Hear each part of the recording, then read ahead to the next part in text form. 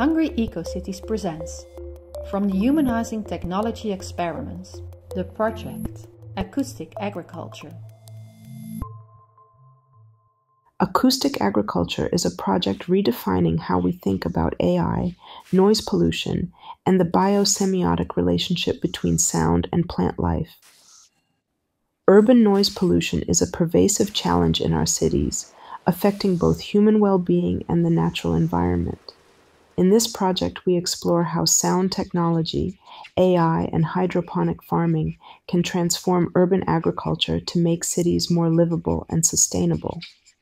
To understand the complex soundscape of our cities, we collected a dataset of 100 sounds categorized into urban noise pollution, environmental and natural sounds, and pulses known to influence plant growth.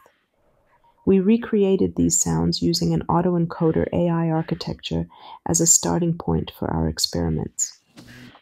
In collaboration with the laboratory of Mendel University in Brno, we developed a small prototype with two hydroponic boxes containing vibrational speakers, custom electronics, and sensors.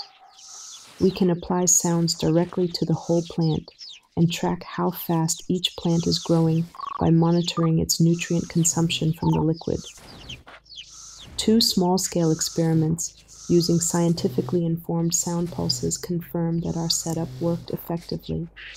Encouraged by the initial results, we developed a larger setup with 100 DIY hydroponic boxes.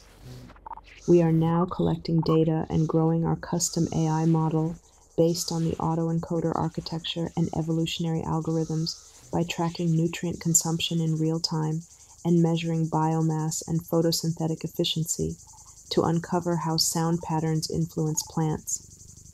We will also conduct genetic analysis to gain deeper insights into plant biology. While being a technological innovation, acoustic agriculture is also a biosemiotic exploration into plant acoustics. It's an AI symphony trained by plants and a model for future urban farming practices. A post human future where technology and nature not just coexist, but co evolve.